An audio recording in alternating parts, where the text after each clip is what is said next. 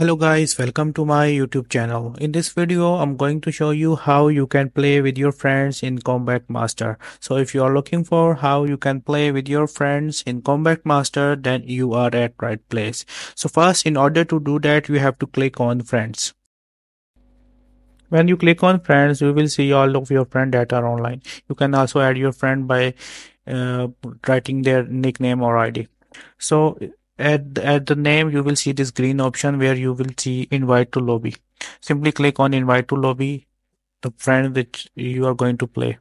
So as you can see, one of my friend is joined as alpha alpha team. So if you want to change the change your friend team, simply click on three dots and then click on change team. And if you want to play against your friend, you can do that as well. So uh, right now I want to play with my friend, so I will go with alpha team. So you can also friend, uh, also invite all other friends as well by clicking on invite to lobby. So my another friend joined the game. So now you can make him a leader or change his team as well. After that, you have to select the room type and then click on launch match. Make sure you are on public or private. If you want to play with each other, simply go with the private room and then the game will start. Hope you like this little tutorial. Feel free to subscribe to my channel. And if you have any question, you can ask me in the comment section. Thanks for watching. Bye bye.